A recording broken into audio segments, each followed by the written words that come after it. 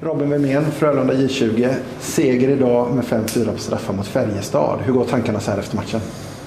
Det är faktiskt jävligt skönt att vända den här matchen. Eh, vi spelar dåligt i två perioder. Får en liten utskällning inför tredje och tar tag i det. Mm. Så det är faktiskt jävligt skönt. Mm.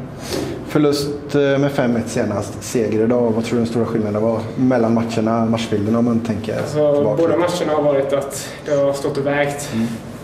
Och vi hade egentligen ett bättre utgångsläge inför tredje förra, mm. förra matchen. Men ja, vi var mer desperata och alla, vi började jobba hårdare. Mm. Då, då, då kommer målen också. Då, kommer då får man studsarna med sig. Jajamän.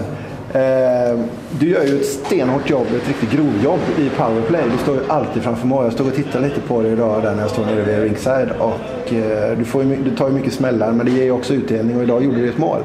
Gjorde ju 2-1 målet här. Kan du berätta lite om målet? Det är väl tekning. Det är inte så långt kvar. Så eh, jag försöker bara gå in på mål. Och så kommer pucken ner till eh, Kevin tror jag. Mm.